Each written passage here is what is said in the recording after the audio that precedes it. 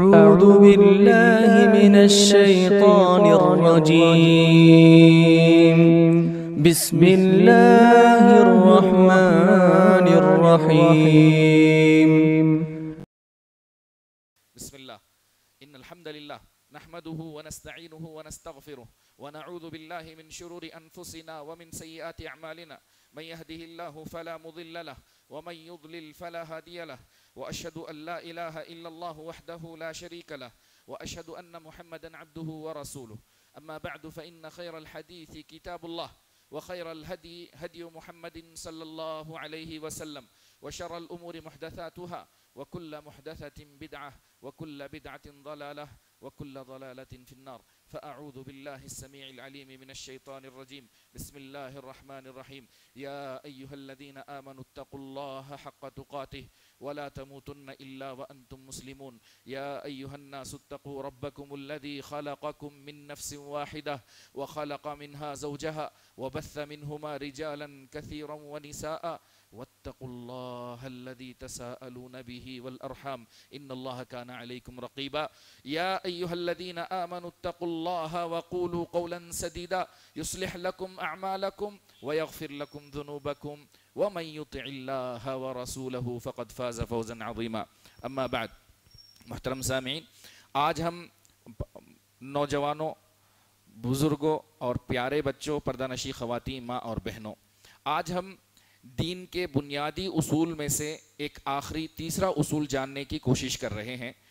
پہلے ہم نے دو اصول جانے، اللہ کی معرفت اور دوسرا اپنے دین کی معرفت۔ آج ہم انشاءاللہ اپنے رسول محمد الرسول اللہ صلی اللہ علیہ وسلم کی معرفت کے بارے میں مختصر طور پر جانیں گے۔ مختصر آپ صلی اللہ علیہ وسلم کے بارے میں جانیں گے۔ آپ صلی اللہ علیہ وسلم کا نام کیا تھا؟ محمد محمد بن عبداللہ بن عبد المطلب بن ہاشم۔ یہ آپ صلی اللہ علیہ وسلم کا نام ہے۔ محمد بن عبداللہ بن عبد المطلب بن ہاشم۔ یہ آپ صلی اللہ علیہ وسلم کا نام ہے۔ آپ صلی اللہ علیہ وسلم بنو ہاشم سے تھے، ہاشم قبیلے سے تھے، اور ہاشم قبیلہ یہ قریش کا ایک ایک ایک برانچ تھی، قریش کی ایک برانچ تھی، اور قریش عرب کی ایک برانچ تھی، اور عرب اسماعیل علیہ السلام کی اولاد میں سے تھے، اور اسماعیل علیہ السلام ابو الانبیاء ابراہیم علیہ السلام کی اولاد میں سے تھے۔ تو لہذا آپ صلی اللہ علیہ وسلم کا نام محمد بن عبداللہ بن عبد المطلب بن ہاشم یہ آپ صلی اللہ علیہ وسلم کا نام ہے۔ آپ صلی اللہ علیہ وسلم بنو ہاشم قبیلے سے تھے اور بنو ہاشم قریش کی ایک برانچ تھی، ایک فرع تھی اور قریش عرب کا ایک قبیلہ تھا اور عرب اسماعیل علیہ السلام کی اولاد میں سے، جو اسماعیل علیہ السلام نبی ابو الانبیاء حضرت ابراہیم علیہ السلام کی ایک اولاد ہیں کہ ایک فرزند ہیں تو لہذا آپ صلی اللہ علیہ وسلم کا نسب نامہ اسماعیل علیہ السلام سے لے کر ابراہیم علیہ السلام ابراہیم علیہ السلام تک پہنچتا ہے۔ آپ صلی اللہ علیہ وسلم کا پورا نسب نامہ کسی کو یاد ہے؟ محمد صلی اللہ علیہ وسلم کا پورا نام چین۔ محمد بن عبداللہ بن عبد المطلب بن ہاشم بن عبد مناف۔ یاد ہے کسی کو؟ ڈرو اللہ کے بندو۔ رسول کے سنتیوں، صلی اللہ علیہ وسلم کے امتیوں۔ جی۔ محمد بن عبداللہ بن عبد المطلب بن ہاشم بن عبد مناف بن قصی بن کلا بن مرہ مرہ بن لؤی بن غالب بن فہر بن مالک بن بن نظر بن کینانہ بن خزیمہ بن مدرکہ بن الیاس بن مضر بن نزار بن معد بن عدنان یہاں تک سارے اہل تاریخ متفق ہیں۔ اس کے بعد عدنان سے لے کر اسماعیل علیہ السلام تک اختلاف ہے۔ یہ اتفاق ہے کہ عدنان اسماعیل علیہ السلام کی اولاد میں سے ہیں۔ اور اسماعیل علیہ السلام ابراہیم علیہ السلام کی اولاد میں سے ہیں، ٹھیک ہے؟ رسول صلی اللہ علیہ وسلم کے یہ جو چین ہے، تقریباً اکیس بائیس نام ہیں، یہ یاد رکھیں کوئی سیرت ہے رسول صلی اللہ علیہ وسلم کی۔ آپ صلی اللہ علیہ وسلم کی سیرت ہے، یہ یاد ہونا چاہیے۔ محمد بن عبداللہ بن عبد المطلب بن ہاشم بن عبد مناف بن قصی بن کلاب بن مرہ بن کعب بن لؤی بن غالب بن فہر بن مالک بن نظر بن کینانہ، بن خزیمہ، بن مدرکہ، بن الیاس، بن مضر، بن نزار، بن معد، بن عدنان۔ یہ رسول صلی اللہ علیہ وسلم کا نسب نامہ ہے۔ جی ہاں رسول اللہ صلی اللہ علیہ وسلم، رسول صلی اللہ علیہ وسلم کا یہ نسب نامہ یاد کرنا مشکل نہیں ہے۔ مشکل نہیں ہے، آسان ہے۔ اکاؤنٹ سب کو یاد رہتے ہیں، کمپنی کے۔ امپلائی سب کو یاد رہتے ہیں۔ نہیں یاد رہتے؟ یاد رہتے ہیں۔ جی ہاں لہذا رسول اللہ صلی اللہ علیہ وسلم کا یہ نصب نامہ یاد ہونا چاہیے۔ یہ سیرت ہے، دین ہے اور رسول اللہ صلی اللہ علیہ وسلم سے محبت کا ایک ایک نمونہ ہے یہ کہ آپ صلی اللہ علیہ وسلم کی سیرت کو آپ جانیں۔ چلیں، تو آپ صلی اللہ علیہ وسلم نے جملہ کتنی عمر پائی تھی؟ سکسٹی تھری، ترسٹھ سال آپ صلی اللہ علیہ وسلم نے عمر پائی تھی شہباش بچوں۔ آپ صلی اللہ علیہ وسلم نے ترسٹھ سال عمر پائی تھی، جس میں سے چالیس سال آپ نے نبوت سے پہلے کے گزارے۔ اور چالیس سال میں آپ صلی اللہ علیہ وسلم کو نبوت ملی۔ تو لہذا آپ صلی اللہ علیہ وسلم نے ٹوٹل سکسٹی تھری ایئرس عمر پائی اور آپ صلی اللہ علیہ وسلم پیدا ہوئے کہاں پر؟ مکہ میں۔ مکہ میں پیدا ہوئے آپ صلی اللہ علیہ وسلم۔ تو چالیس سال کی عمر آپ صلی اللہ علیہ وسلم کی نبوت سے پہلے کے دن گزرے۔ سب سے پہلے اللہ تبارک و بچوں آپ لوگ اب بس ہاں۔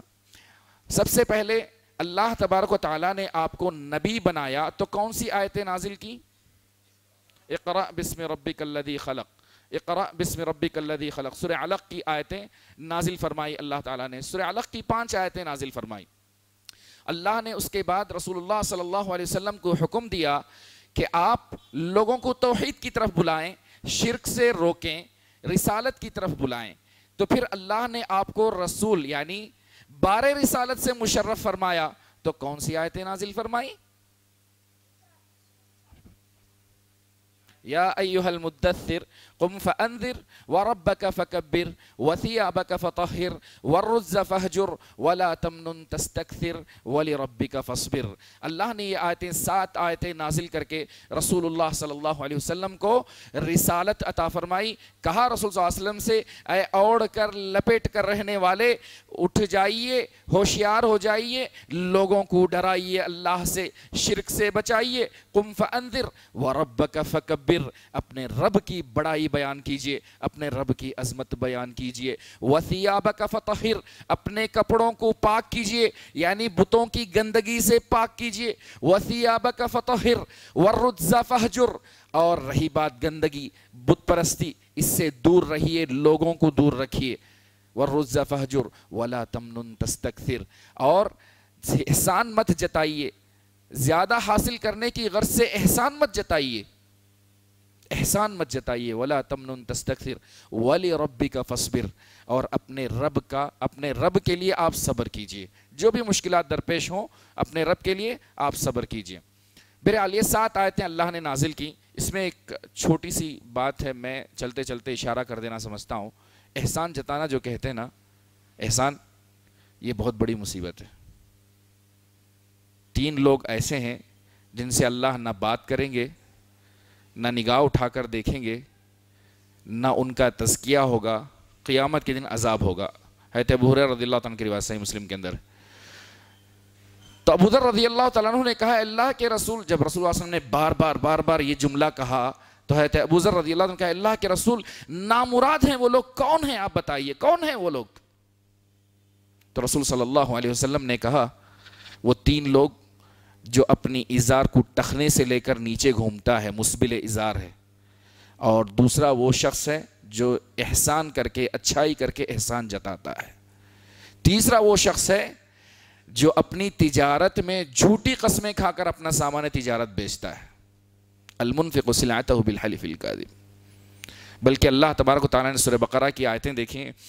کہ احسان نیکی کرنے کے بعد صدقات و خیرات کرنے بعد، احسان کرنے والے کو، احسان جتانے والے کو کہا اللہ نے کہ اس کا صدقات اور خیرات بیکار ہیں۔ عربی شاعر کہتا ہے، افسدت بالمن نیما اسدیت من حسن افسدت بالمن نیما اسدیت من حسن لیس الکریم اذا اسدا ممنانی جو بھی تم نے سخاوت کی ہے، وہ ایک احسان جتا کے برباد کر ڈالا۔ حقیقی معنوں میں سخی وہ ہے جو اچھائی کرنے کے بعد احسان نہیں جتاتا۔ لیس الکریم اذا اذا اتا بمنانی، اذا اسدا بمنانی۔ حقیقی معنوں میں سخی وہ ہے جو سخاوت کرنے کے بعد کبھی احسان نہیں جتاتا۔ تو عموماً رسول اللہ صلی اللہ علیہ وسلم کو یہ تعلیمات دی گئی اور آپ صلی اللہ علیہ وسلم کو رسالت دی گئی۔ تو لہذا یہ سات آیتیں جب نازل کی تو رسول اللہ صلی اللہ علیہ وسلم رسالت پہنچانے کے لیے آگے بڑھے، لوگوں کو توحید کی دعوت دینے لگے اور رسول اللہ صلی اللہ علیہ وسلم لوگوں کو اللہ کی طرف بلانے لگے اور شرک سے روکنے لگے۔ اس کے بعد آپ صلی اللہ علیہ وسلم دس سال کے بعد اللہ نے ساتوں آسمانوں کی سیر کروائی، معراج پر لے گئے۔ اور یہاں رسول اللہ صلی اللہ علیہ وسلم کو اللہ نے ایک انعام سے نوازا۔ ہماری امت امت محمدیہ رسول اللہ صلی اللہ علیہ وسلم کی امت پر پانچ وقت کی نمازیں فرض کی گئیں۔ پھر اس کے بعد رسول اللہ صلی اللہ علیہ وسلم نے ہجرت فرمائی۔ ہجرت کہتے ہیں کہ آپ صلی اللہ علیہ وسلم نے مکہ چھوڑ کر مدینے کی طرف ہجرت کی۔ بلاد کفر کو چھوڑ کر بلاد اسلام کی طرف منتقل ہونے کا نام یہ ہجرت ہے۔ تو رسول اللہ صلی اللہ علیہ وسلم مدینہ جب ہجرت فرمائے، تو یہاں رسول اللہ صلی اللہ علیہ وسلم نے ہجرت کے بعد لوگوں کو ساری تعلیمات دیں، سارے جیسے توحید، رسالت، آخرت یہ آپ صلی اللہ علیہ وسلم مکہ میں پڑھاتے تھے، اب یہاں آنے کے بعد ان کے ساتھ ساتھ آپ صلی اللہ علیہ وسلم نے نماز، روزہ، قبلے کا بدل جانا، زکوٰۃ، حج، امر بالمعروف نہیں عن المنکر، حلال و حرام کے سارے مسائل، الغرض دین میں کوئی ایسی تشنگی نہ چھوڑی رسول صلی اللہ علیہ وسلم نے، دین و دنیا کے سارے مسائل آپ صلی اللہ علیہ وسلم نے واضح کر دیے۔ دین و دنیا کے سارے مسائل آپ صلی اللہ علیہ وسلم نے واضح کر دیے اور اللہ کا فضل اس امت پر یہ ہوا کہ رسول اللہ صلی اللہ علیہ وسلم کا یہ دین مکمل ہوا۔ سورہ معیدہ کی آیت نمبر تین اللہ نے کہا، اليوم اکملت لکم دینکم واتممت علیکم نعمتی ورضیت لکم الاسلام دینا۔ تو رسول اللہ صلی اللہ علیہ وسلم جب ہجرت کر کے گئے، بلاد کفر سے، بلاد اسلام کی طرف منتقل ہونا، یہ نام ہے ہجرت کا۔ اللہ تعالیٰ نے سورہ انکبوت سورہ انکبوت کی آیت نمبر چھپن میں فرمایا ففٹی سکس میں، یا عبادی الذین آمنوا ان ارضی واسعت فإیای فعبدون اے میرے بندو، جو ایمان لائے ہو، اللہ نے کہا، اے میرے بندو، جو ایمان لائے ہو، یقیناً میری زمین کشادہ ہے۔ تم لہذا صرف میری ہی بندگی کرو، تم صرف میری ہی عبادت کرو۔ امام بغوی رحمہ اللہ نے اپنی تفسیر کے اندر نقل کیا ہے کہ اللہ نے اس آیت کو اس وقت نازل کیا جو کچھ لوگ مکہ ہی میں رہ گئے ہجرت نہیں کر پائے تھے، تو اللہ نے ان کو اہل ایمان سے خطاب کیا۔ امام احمد بن حمل رحمہ اللہ نے اپنی مسند میں اور اور ابو داود نے بھی اور دارمی نے اپنے سنن کے اندر نقل کیا ہے تو معاویہ رضی اللہ تعالیٰ عنہ سے کہ ہجرت کب تک ختم نہیں ہوگی؟ جب تک کہ توبہ ختم نہیں ہوگی۔ اور توبہ کب تک ختم نہیں ہوگی؟ جب تک کہ سورج مغرب سے طلوع نہ ہو جائے۔ اللہ اکبر، قیامت نہ آ جائے۔ اللہ اکبر۔ اللہ مجھے اور آپ کو توبہ کی توفیق نصیب فرمائے۔ مرنے سے پہلے توبہ ضروری ہے، ہر انسان توبہ کرے، توبہ میں دیر نہ کرے۔ تو لہذا جب تک توبہ ختم نہیں ہوگی، ہجرت ختم نہیں ہوگی، اور جب تک توبہ ختم نہیں ہوگی، کب تک نہیں ہوگی؟ جب تک کہ سورج مغرب سے طلوع نہیں ہو جائے گا۔ اللہ مجھے اور آپ کو صحیح توبہ کی توفیق نصیب فرمائے، ہمیں گناہوں سے پاک کرے۔ امام محمد بن حمل رحمہ اللہ نے کہا، جب تک مشرقین سے آمنا سامنا ہوگا، تب تک کہ ہجرت باقی ہے۔ یہ یہ امام محمد بن حمل رحمہ اللہ کی روایت ابن عساکر نے نقل کی ہے اور مناوی نے کنوز الحقائق میں ذکر کیا۔ چلیں، آگے بڑھتے ہیں۔ رسول اللہ صلی اللہ علیہ وسلم نے جب ہجرت کی، ساری تعلیمات آپ صلی اللہ علیہ وسلم نے بتا دی، پھر آپ صلی اللہ علیہ وسلم اس دنیا سے رخصت ہو گئے۔ وہ دن سب سے بڑا غم غمناک دن تھا جب مدینے والوں پر اللہ نے یہ نازل فرمایا، اذا جاء نصر اللہ والفتح ورأيت الناس يدخلون في دين الله افواجا فسبح بحمد ربك واستغفر انه كان توابا. اس آیت کے اترنے کے بعد حیرت ابو بکر رضی اللہ تعالیٰ عنہ سمجھ گئے تھے کہ رسول اللہ صلی اللہ علیہ وسلم اس دنیا سے رخصت ہونے والے ہیں۔ جس دن رسول صلی اللہ علیہ وسلم کی رخصتی ہوئی، اس دن سارا مدینہ سیاہ ہو گیا تھا، سارے لوگ غم میں تھے۔ کہ رسول اللہ صلی اللہ علیہ وسلم اس دنیا سے رخصت ہو گئے ہیں۔ کسی کو یہ یقین نہیں آتا تھا کہ رسول اللہ صلی اللہ علیہ وسلم اب اس دنیا میں نہیں رہے اس دنیا میں اب نہیں رہے۔ لیکن لیکن وہ ابو بکر رضی اللہ تعالیٰ عنہ صحابہ نے، جن میں، جنہوں نے آپ صلی اللہ علیہ وسلم پر ایمان لایا تھا، انہوں نے بتایا کہ ہر انسان کو اس دنیا سے جانا ہے اور محمد صلی اللہ علیہ وسلم بھی اس دنیا سے رخصت ہو چکے ہیں۔ الغرض، رسول اللہ صلی اللہ علیہ وسلم اس دنیا سے رخصت ہو گئے، لیکن ان کا دین قیامت تک باقی ہے۔ آپ صلی اللہ علیہ وسلم کا دین قیامت تک باقی ہے۔ تو لہذا میں نے یہاں تک جو باتیں کہی، اس کو دوبارہ میں کہتا ہوں۔ اور نارمل سی باتیں ہیں سیرت کے بارے میں۔ آپ صلی اللہ علیہ وسلم مکہ میں پیدا ہوئے۔ آپ صلی اللہ علیہ وسلم کا نام محمد بن عبداللہ بن عبد المطلب بن ہاشم ہے۔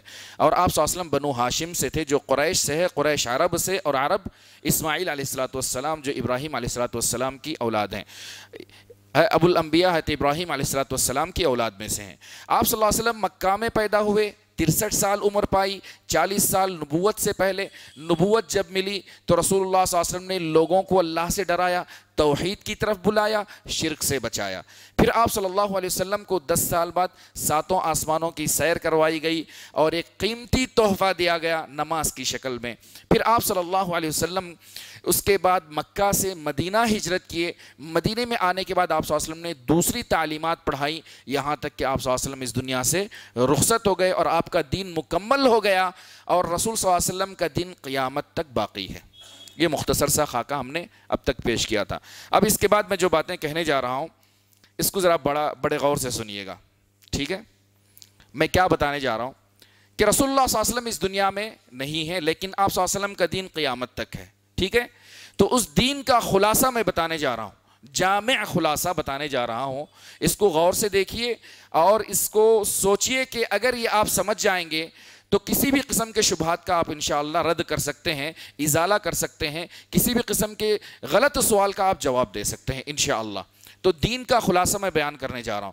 جو رسول اللہ صلی اللہ علیہ وسلم دین لے کر آئے تھے، اس کا خلاصہ۔ نمبر ایک، رسول اللہ صلی اللہ علیہ وسلم نے ایسی کوئی بھلائی نہیں ہے جس کا حکم نہ دیا ہو۔ یعنی ہر بھلائی کا رسول صلی اللہ علیہ وسلم نے حکم دیا۔ اور دنیا کے اندر ایسی کوئی برائی نہیں ہے جس سے رسول صلی اللہ علیہ وسلم نے نہ روکا ہو۔ یعنی ہر برائی سے رسول اللہ صلی اللہ علیہ وسلم نے روکا ہے۔ ہر بھلائی کا حکم رسول صلی اللہ علیہ وسلم نے دیا اور ہر برائی سے رسول اللہ صلی اللہ علیہ وسلم نے ہمیں روکا ہے۔ نمبر دو سب سے بڑی بھلائی، سب سے اچھی چیز دنیا کے اندر جو سب سے خیر ہے، جس کی طرف رسول اللہ صلی اللہ علیہ وسلم نے دعوت دی اور سارے انبیاء نے دعوت دی، وہ توحید ہے۔ وہ توحید ہے۔ دنیا کے اندر جو سب سے بڑی بھلائی ہے، جس کا اللہ نے ہمیں حکم دیا، جس کا رسول اللہ صلی اللہ علیہ وسلم نے ہمیں پیغام دیا، وہ توحید ہے اور ہر وہ کام ہے جو اللہ کو راضی کرے۔ اور دنیا کی سب سے بڑی برائی جس سے رسول اللہ صلی اللہ علیہ وسلم نے روکا اور سارے رسولوں نے روکا، وہ شرک ہے۔ وہ شرک ہے۔ تو لہذا رسول اللہ صلی اللہ علیہ وسلم نے اس امت کو شرک سے روکا ہے اور ہر اس چیز سے روکا جو اللہ کو ناراض کرے۔ جو اللہ کو ناراض کرے۔ آپ صلی اللہ علیہ وسلم نے ہر بھلائی کا حکم دیا اور ہر برائی سے روکا بہترین بھلائی وہ جس کا رسول صلی اللہ علیہ وسلم نے حکم دیا وہ توحید ہے اور جو اللہ کو راضی کرے۔ اور نمبر دو، ہر وہ برائی جس سے رسول صلی اللہ علیہ وسلم نے روکا، سب سے بری برائی کون سی ہے؟ شرک ہے۔ اور رسول صلی اللہ علیہ وسلم نے شرک سے روکا اور ہر اس کام سے روکا جو اللہ کو ناراض کرتا ہو۔ نمبر تین رسول اللہ صلی اللہ علیہ وسلم کو سارے عالم یعنی جن و انس کی طرف پیغام پیغمبر بنا کر بھیجا گیا۔ رسول اللہ صلی اللہ علیہ وسلم کو ہر دو عالم، جن اور انسان دونوں کی طرف رحمت اور پیغمبر رسول بنا کر بھیجا گیا۔ سورہ عراف آیت نمبر 158 اللہ نے کہا، قل یا ایوہ الناس انی رسول اللہ علیکم جميعا اے محمد صلی اللہ علیہ وسلم، کہہ دیجیے، آپ کہہ دیجیے، اے لوگو، میں تم سب یعنی جنوں اور انسانوں سب کی طرف پیغمبر بنا کر بھیجا گیا ہوں۔ تو لہذا آپ صلی اللہ علیہ وسلم کی رسالت سارے جنوں اور انسان سب کے لیے شامل تھی۔ نمبر چار اللہ تبارک و تعالیٰ نے آپ کے دین کو مکمل کر دیا۔ پچھلے دین، پچھلے مذہب جو دین سماوی تھے، وہ کہیں نہ کہیں رہ گئے تھے۔ بعد میں آنے والے انبیاء اس کی تکمیل کرتے، لیکن محمد صلی اللہ علیہ وسلم کا دین اللہ نے مکمل کر دیا۔ تو لہذا اللہ نے سورہ معاہدہ کی آیت نمبر تین نازل کر کے اس امت پر احسان کیا اور یہ خصوصیت بتائی، اليوم اکملت لکم دینکم واتممت علیکم نعمتی ورضیت لکم الاسلام دینا دین اسلام محمد صلی اللہ علیہ وسلم کا دین مکمل ہو چکا ہے۔ یعنی آپ صلی اللہ علیہ وسلم نے دین کے اندر، دین کے دنیا کے سارے مسائل بتا کر اس دنیا سے رخصت ہوئے۔ کوئی تشنگی نہیں چھوڑی۔ یعنی کوئی ایسا شوشہ نہیں چھوڑا کہ کوئی اس کے اندر کوئی پیدا کرے یا کوئی اضافہ کرے یا کوئی ایڈ کرے، اس کی ضرورت نہیں ہے۔ ہمارا دین مکمل ہے۔ دین ہمارا مکمل ہے۔ اليوم اکملت لکم دینکم اتمت علیکم نعمتی ورضیت لکم الاسلام دینا۔ نمبر پانچ رسول اللہ صلی اللہ علیہ وسلم اس دنیا سے رخصت ہو چکے ہیں۔ رسول اللہ صلی اللہ علیہ وسلم اس دنیا سے رخصت ہو چکے ہیں۔ اور ہر انسان کو اس دنیا سے جانا ہے۔ سورہ زمر آیت نمبر تیس اور اکتیس اللہ نے فرمایا، انکا میتوں وَإِنَّهُمْ مَيِّتُونَ ثُمَّ إِنَّكُمْ يَوْمَ الْقِيَامَةِ عِنْدَ رَبِّكُمْ تَخْتَصِمُونَ. آئے نبی، اے نبی محمد صلی اللہ علیہ وسلم، آپ کو بھی اس دنیا سے رخصت ہونا ہے اور ہر شخص کو یہاں سے رخصت ہونا ہے۔ آپ کو بھی اس دنیا سے رخصت ہونا ہے اور ان لوگوں کو بھی اس دنیا سے رخصت ہونا ہے۔ آخر کار قیامت کے روز تم سب اپنے ایک دوسرے کے مقدمات اللہ کے آگے پیش کرو گے۔ تم قیامت کے دن اپنے اپنے مقدمات اللہ کے آگے پیش کرو گے۔ نمبر پانچ، آپ صلی اللہ علیہ وسلم اس دنیا سے رخصت ہو چکے ہیں۔ ہر ہر ہر انسان کو اس دنیا سے جانا ہے۔ ٹھیک ہے؟ نمبر چھ، اس مرنے، اس دنیا سے مرنے کے بعد اللہ تبارک و تعالی ہمیں دوبارہ اٹھائے گا۔ اس دنیا سے جانے کے بعد اللہ تبارک و تعالی ہمیں دوبارہ اٹھائے گا۔ دوبارہ زندہ کرے گا روز محشر میں ہمیں ہمیں دوبارہ زندہ کر کے اکھٹا کرے گا۔ سورہ توحہ آیت نمبر 55 اللہ نے کہا منہا خلقناکم وفیہا نعیدکم ومنہا نخرجکم تارتن اخرى اسی زمین سے ہم نے تمہیں پیدا کیا اور اسی میں ہم تمہیں واپس لے جائیں گے اور اسی سے تمہیں قیامت کے دن دوبارہ نکالیں گے۔ اس بارے میں بے شمار آیتیں اللہ نے ذکر کی ہیں۔ چھ باتیں میں نے بتائی دوبارہ کہتا ہوں۔ اس، محمد صلی اللہ علیہ وسلم نے ہر بھلائی کا حکم دیا اور ہر برائی سے روکا۔ نمبر دو، سب سے بہترین بھلائی یا خیر جس کا جس کی رسول صلی اللہ علیہ وسلم نے دعوت دی، وہ توحید ہے۔ اور سب سے بری برائی جس سے رسول صلی اللہ علیہ وسلم نے روکا، وہ شرک ہے اور ہر وہ کام جو اللہ کو ناپسند ہے۔ نمبر تین، محمد صلی اللہ علیہ وسلم کو جنوں انس دونوں کی طرف پیغمبر بنا کر بھیجا گیا۔ دونوں کے لیے رحمت بنا کر بھیجا گیا۔ نمبر چار رسول اللہ صلی اللہ علیہ وسلم کا دین مکمل ہو چکا ہے۔ آپ صلی اللہ علیہ وسلم نے دین و دنیا کے مسائل میں کوئی تشرگی نہ چھوڑی، کوئی پیاس نہ چھوڑی، ہر چیز آپ صلی اللہ علیہ وسلم نے بیان کر دی اور واضح کر دیا۔ نمبر پانچ، آپ صلی اللہ علیہ وسلم اس دنیا سے رخصت ہو چکے ہیں اور ہر انسان کو اس دنیا سے رخصت ہونا ہے۔ نمبر چھ، ہم سب کو اس دنیا سے جانا ہے، مرنے کے بعد اللہ ہمیں قیامت کے دن دوبارہ زندہ کرے گا، دوبارہ اٹھائے گا۔ نمبر سات اللہ جب ہمیں دوبارہ اٹھائے گا تو حساب و کتاب کرے گا۔ جنہوں نے اچھائی کی ہے، ان کا بدلہ انشاءاللہ اللہ اچھائی سے ملے گا اور جنت ملے گی۔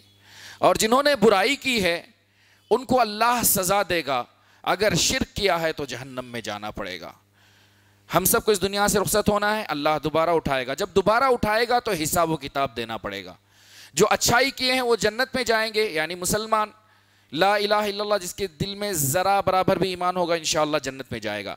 اگر برائی کی ہے، شرک کیا ہے تو جہنم میں جانا پڑے گا۔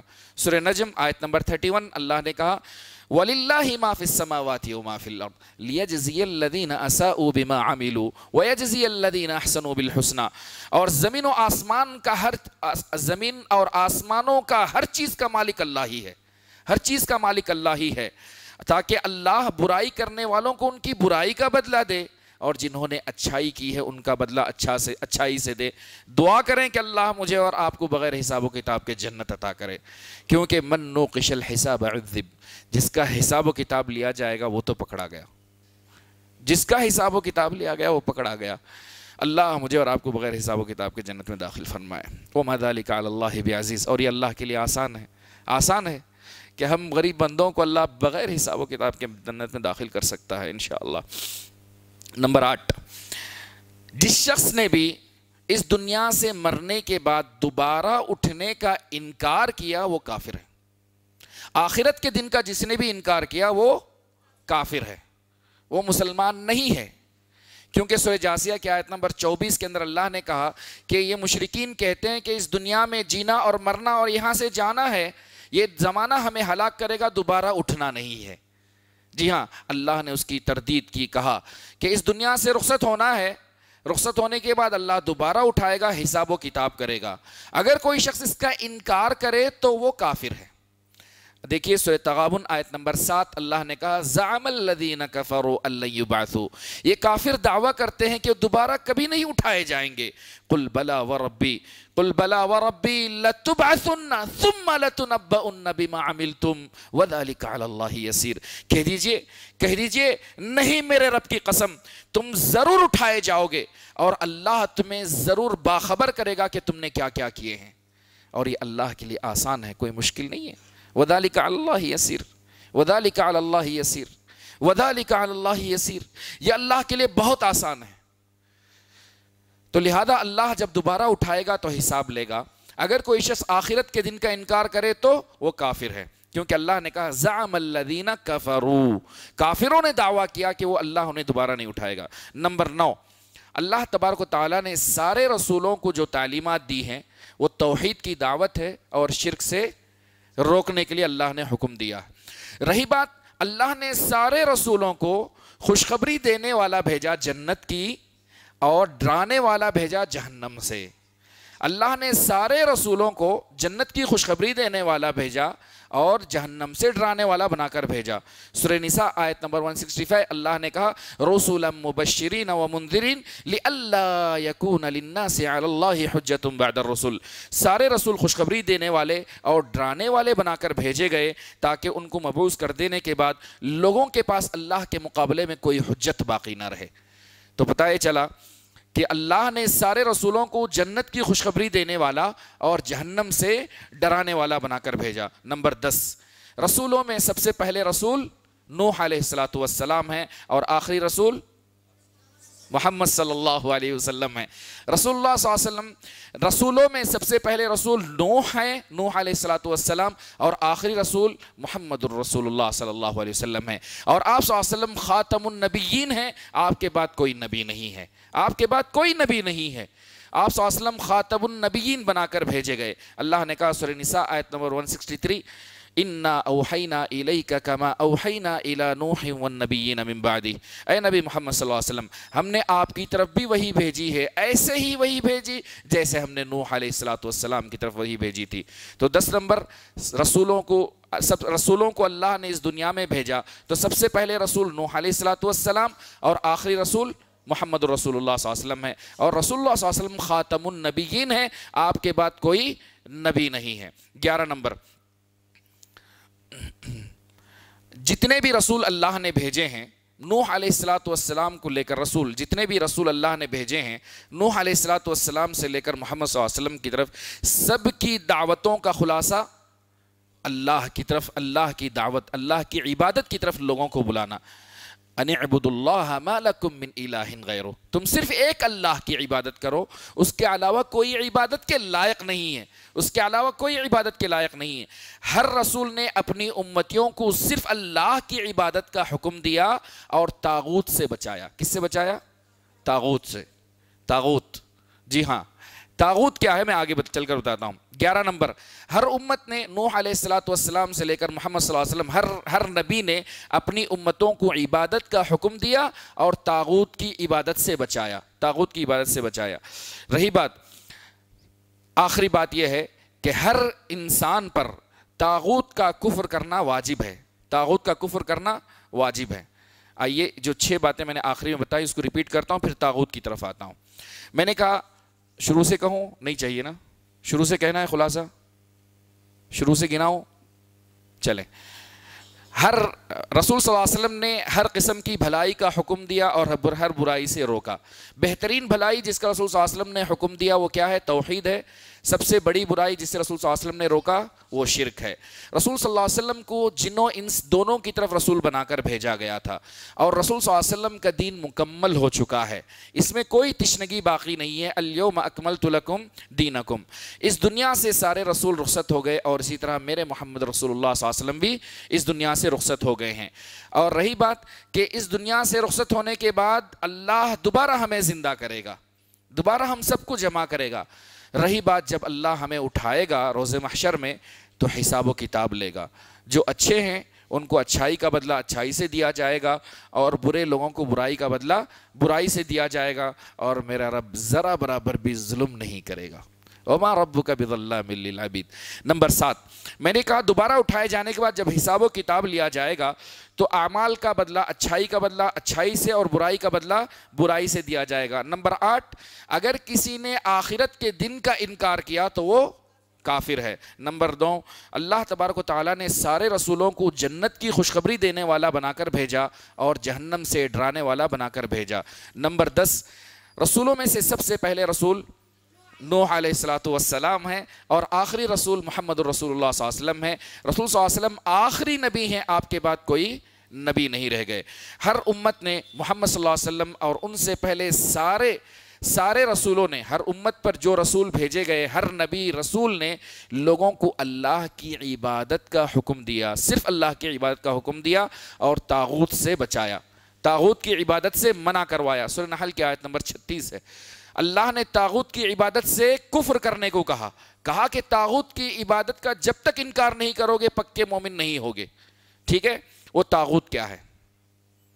تاغوت کہتے ہیں، جو بھی باطل معبود، اللہ کو چھوڑ کر جو بھی باطل معبود ہے۔ ٹھیک ہے؟ میرے الفاظ پہ غور کیجیے گا۔ جو بھی باطل معبود، یا متبوع ایسا شخص جو لوگوں کو زبردستی اپنی پیروی کی طرف بلائے۔ متبوع یا مطاع، یا لوگ جس کے چیلے بن کر گھومے ہر باطل معبود، یا مطاع، جس کی لوگ، جو اپنی لوگوں کو اپنی متبوع یعنی لوگوں کو اپنی پیروی کی طرف زبردستی بلائے، یا لوگ زبردستی اس کے چیلے بن کر گھومے مطاع۔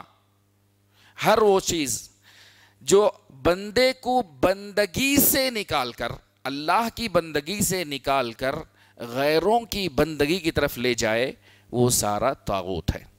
تاغوت کی بہت قسمیں دوبارہ میں کہتا ہوں، ہر باطل معبود، یا لوگوں کو اپنی پیروی کی طرف جو بلائے، زبردستی، یا لوگ اس کے پیچھے چیلے بن کر گھومے، زبردستی۔ جی ہاں۔ جو لوگوں کو اللہ کی بندگی سے ہٹا کر، اللہ کی بندگی سے ہٹا کر باطل معبود کی بندگی یا اپنی بندگی کی طرف بلائے، اپنی عبادت کی طرف بلائے یہ تاغوت ہے۔ سہبارہ کہتا ہوں میں تاغوت سمجھنا ضروری ہے۔ میں آگے چل کر ابن القیم رحمہ اللہ کی ایک عبارت نقل کروں گا، جس میں صاف طور پر واضح ہو جائے گا۔ ہر باطل معبود جو لوگوں کو بند، اللہ کی بندگی سے ہٹا کر اپنی بندگی کی طرف لے جائے، وہ تاغوت ہے۔ اللہ، موٹے الفاظ میں بول دوں کیا؟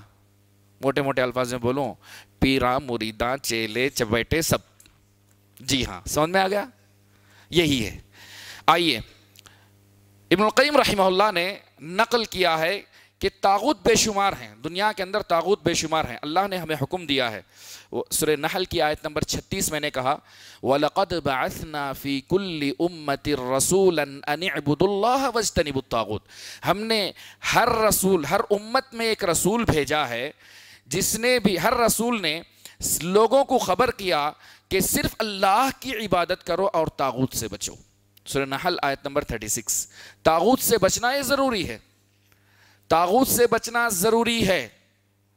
یہ توحید توحید جاننے والوں توحید سمجھنے والوں جان لو کہ توحید توحید جاننے والا تاغوت سے بچتا ضروری ہے۔ جی ہاں۔ رہی بات ابن القیم رحیم اللہ نے نقل کیا کہ تاغوت بے شمار ہیں لیکن ان کے بڑے سرغنہ پانچ ہیں۔ تاغوت کے بڑے سرغنہ پانچ ہیں۔ سب سے بڑا تاغوت کون ہے؟ بہت اچھے۔ شیطان ہے۔ ابلیس ہے۔ اللہ مجھے اور آپ کو اس کے شیطان کے ہر ہر ہتھ کنڈے سے محفوظ رکھے۔ ہر فتنے سے محفوظ رکھے۔ سب سے بڑا، سب سے بڑا تاغوت کون ہے؟ ابلیس ہے۔ شیطان ہے۔ نمبر دو، ہر وہ شخص، ہر وہ شخص جو لوگوں کو اپنی بندگی اور اپنی اطاعت کی طرف بلائے۔ ہر وہ شخص جو لوگوں کو اپنی بندگی کی طرف بلائے، کہے کہ میری میری میری پیروی کرو یا زبردستی میری عبادت کرو۔ نمبر تین ایسا شخص جس کی عبادت کی جائے لوگ پوچھیں اور اس سے راضی ہو۔ بعض مرتبہ لوگ بابا بنا لیتے ہیں، لیکن فرض بنتا یہ ہے کہ منع کرے کہ میری عبادت نہ کرو، اللہ کی عبادت کرو۔ لیکن اگر اس سے راضی ہو، تو وہ بھی تاغوت ہے۔ پہلے اور دوسرے دوسرے اور تیسرے میں فرق معلوم ہوا۔ پہلا شخص لوگوں کو خود بلاتا ہے اپنی بندگی کی طرف۔ دوسرا شخص لوگ اس کی بندگی کرتے ہیں، لیکن وہ منع نہیں کرتا، اس سے راضی ہے۔ تو تاغوت کے پانچ سرداروں میں سے تین میں نے ذکر کیا۔ سب سے پہلا شیطان ہے۔ نمبر دو، ہر وہ شخص جو لوگوں کو اپنی بندگی کی طرف بلائے، اپنی عبادت کی طرف بلائے۔ نمبر تین لوگ جس کی پیروی کریں، بندگی کریں، لوگ جس کی بندگی کریں، عبادت کریں اور اس سے وہ راضی ہو۔ کچھ نہیں کہتا لوگوں کو۔ تو ہر وہ شخص بھی کیا ہے؟ تاغوت ہے۔ نمبر چار۔ تاغوتوں کا سرغنا نمبر چار۔ ہر وہ شخص جو غیب کا دعویٰ کرے۔ ہر وہ شخص جو علم غیب کا دعویٰ کرے، وہ تاغوت ہے۔ تاغوت ہے وہ۔ نمبر پانچ۔ ہر وہ شخص جو اللہ کی شریعت کو چھوڑ کر غیر دوسری شریعت کا فیصلہ دے۔ دوسری شریعت کے مطابق فیصلہ دے۔ ہر وہ شخص جو اللہ کی شریعت کو چھوڑ کر دوسری شریعت کا فیصلہ دے۔ تو طاغتوں کے سرغانہ پانچ ہیں۔ سب سے پہلا شیطان ہے۔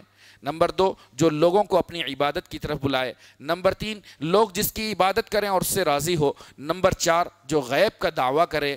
نمبر پانچ، جو اللہ کی شریعت کو چھوڑ کر دوسری دوسری شریعت پر یا دوسری فیصلہ کرے۔ آخر میں میں یہ کہنا چاہتا ہوں کہ خلاصہ توحید کا لا الہ الا اللہ، محمد الرسول اللہ کے صحیح معنی اور مفہوم کو سمجھیں۔ رأس الدین کی اصل چیز اسلام ہے اور اس کا بنیادی ستون نماز ہے۔ اور اعلیٰ ترین مقام جہاد فی سبیل اللہ ہے۔ اللہ تبارک و تعالیٰ سے دعا ہے کہ اللہ تبارک و تعالیٰ مجھے اور آپ کو دین کی رسی کو مضبوطی سے تھامنے والا، صحیح معنوں میں توحید کو سمجھنے والا اور اس پر عمل کرنے والا بنائے۔ تو لہذا آج الحمدللہ یہ اصول الثلاثہ یعنی تین بنیادی اصول کا درس ختم ہوتا ہے۔ دعا کرتا ہوں کہ اللہ مجھے اور آپ کو سننے اور کہنے سے زیادہ عمل کی توفیق عطا فرمائے۔ آمین۔ جزاکم اللہ خیرن۔ اللہ کا شکر ہے۔ پھر آپ لوگوں کا شکر ہے کہ آپ نے ساتھ دیا۔ والسلام علیکم ورحمۃ اللہ وبرکاتہ۔